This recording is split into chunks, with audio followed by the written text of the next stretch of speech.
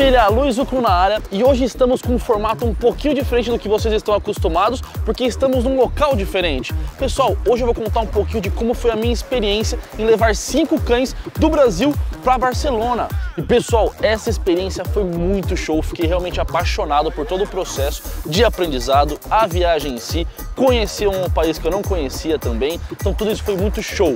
E o processo de aprendizado que nada mais foi do que preparar cinco cães para virem para cá, para aguentarem mais de 10 horas de viagem dentro de um avião e um total de 20 horas de viagem entre avião, sair do Brasil, chegar no aeroporto, sair do aeroporto. Então foi muito bacana e pode ter certeza que aconteceu tudo perfeitinho, foi tudo bem dentro do planejado. E além das imagens muito legais que eu vou passar aqui para vocês, também vou compartilhar um pouquinho de como foi essa experiência e preparar o seu cachorrinho para uma viagem nacional ou internacional de longa duração certo? Então até daqui a pouquinho, pessoal.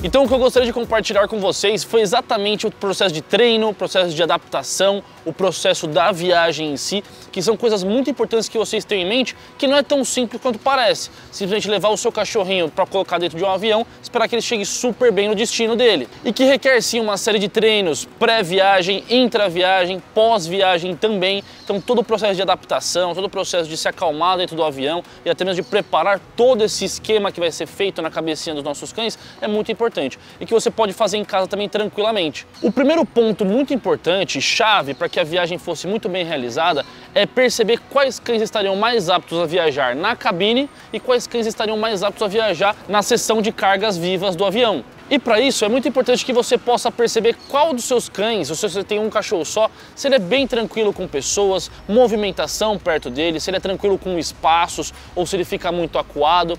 Se ele é um cachorro bem tranquilo nesses aspectos, ele poderia facilmente viajar na cabine. E fique muito atento às regras e especificações de cada companhia aérea e da companhia aérea que você vai viajar. Quanto a tamanho, peso, duração de viagem, épocas do ano, tudo isso aí conta muito. Então é importante que você faça uma pesquisa e se intere e saiba qual que é o momento certo para levar o seu cachorrinho. Um outro ponto bem legal é que você saiba preparar o seu cachorrinho para o momento da viagem com caixas de transporte, porque querendo ou não, ele vai ter que se adaptar a esse tipo de objeto, esse tipo de material e que é muito legal que você possa usar tanto para a viagem quanto para o resto da vida do seu cachorrinho. Eu mesmo gosto de usar muito a caixa de transporte no meu dia a dia, com a Texas, com a Nevada, para deixá-las mais calmas, para deixá-las mais relaxadas também. Isso é bem bacana, pessoal, certo? Serve como uma toquinha e é muito seguro para viagens, dentro de casa também, bem legal. E claro, toda essa técnica de como utilizar a caixa de transporte eu também vou passar aqui no canal em breve, então já fiquem atentos já.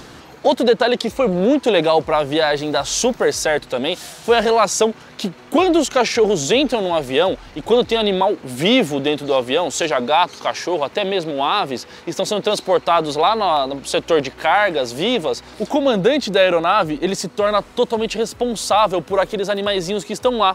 Ou seja, ele recebe um termo mostrando que tem animais vivos dentro da aeronave, que ele tem que se responsabilizar por qualquer dano que acontecer com aquele animalzinho e que ele se atenta ao que? Acertar a pressão, acertar a temperatura daquele animal para que ele consiga viajar na melhor situação possível, sem muitos estresses. E um animalzinho que foi treinado para a viagem vai ficar super bem ao longo de todo o trecho, pode ter certeza.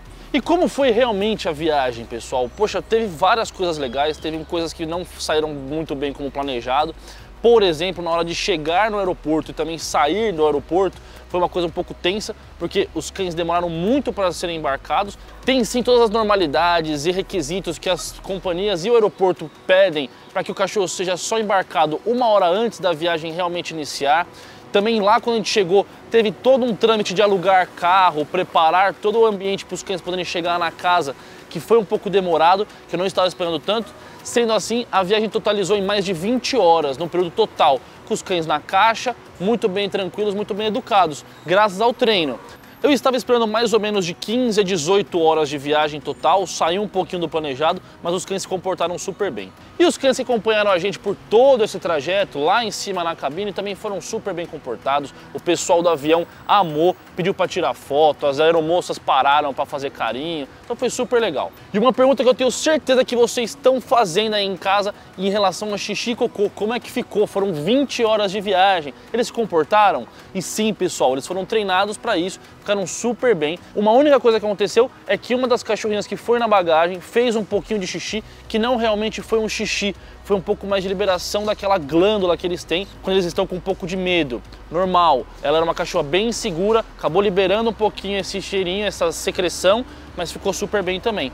Mas qual foi um grande detalhe dessa história toda? Eles estavam em jejum, foram adaptados para isso previamente e chegaram lá super bem. Assim que eles saíram das caixas, já na casa da pessoa, eles fizeram um xixizinho, já direcionei para o local certo, para marcar um banheirinho novo na casa deles, na vida deles, e ficaram tudo bem. Outro detalhe muito legal, pessoal, nenhum deles precisou ser medicado. Então isso é muito mais bacana, pensando na sanidade do cachorro, que eles não precisaram de medicamento, ser sedados, eles ficaram super bem normalmente. E a cidade de Barcelona é muito bacana, ela é linda, ela é envolvente e ela tem uma cultura em relação aos pets muito bem desenvolvida vários parques bem organizados, as pessoas têm uma cultura de deixar os seus cães cada vez mais educados, sim, lógico, não são todos, mas a maioria das pessoas tem essa preocupação em ter cães bem educados, que saibam fazer coisas legais, não briguem, sejam sociáveis. Então tudo isso aí foi muito legal de se analisar. E foi muito importante para mim perceber como a cultura deles é um pouquinho diferente da nossa. Alguns detalhes como saber sociabilizar os cães,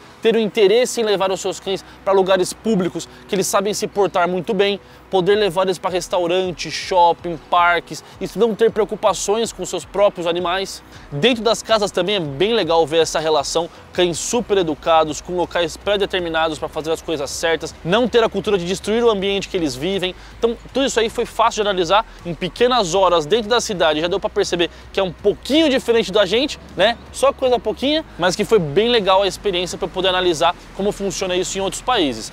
Claro, não quero generalizar, não é que a Europa inteira seja assim, não é que fora do Brasil seja assim, só que é legal ver que a média da população tem cães muito mais educados do que muito menos educados, certo?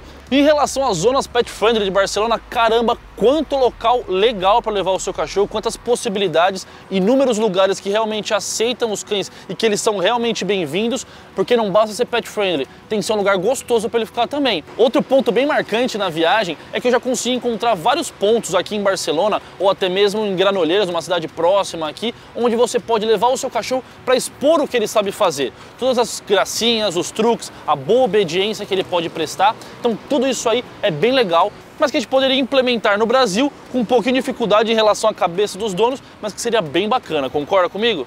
E a adaptação dos cães não foi muito difícil, tá pessoal? O que acontece? A gente tem que pensar sempre que é uma mudança de clima, mudança de local, um novo território, uma nova casa, novos cheiros, novas companhias. E o mais importante, saber se adaptar às novas regras de convivência, certo? Mas basicamente é o seguinte, saber indicar para o seu cachorro aonde ele vai ter que se alimentar agora, os horários corretos, beber água, comer a comidinha, qual vai ser o novo banheiro, se ele vai ter que ser numa varanda, se ele vai ter que ser no quintal ou dentro da casa, e até mesmo a regra da vizinhança. Cães que latem muito têm que parar de latir, cães que não gostam de passear com a guia ou só passeiam sem a guia também tem que se atentar a isso.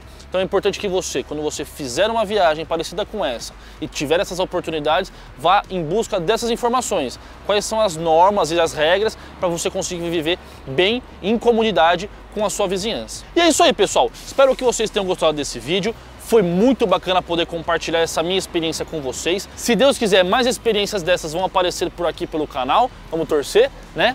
E pessoal, não deixe de se inscrever aqui no canal, acionar o sininho de notificações para vocês ficarem por dentro de todo o conteúdo que eu postar aqui. Também acompanhar todo o meu trabalho pelo Facebook e pelo Instagram e ficar por dentro do nosso grupo do WhatsApp. Tem bastante coisa legal para vocês por lá também. Não deixe de comentar o que vocês acharam desse vídeo, deixar as experiências que vocês já viveram com os seus pets aí, com viagens, lugares fora do Brasil e tudo mais. E é isso aí, espero vocês no próximo vídeo aqui do canal. Tchau, tchau!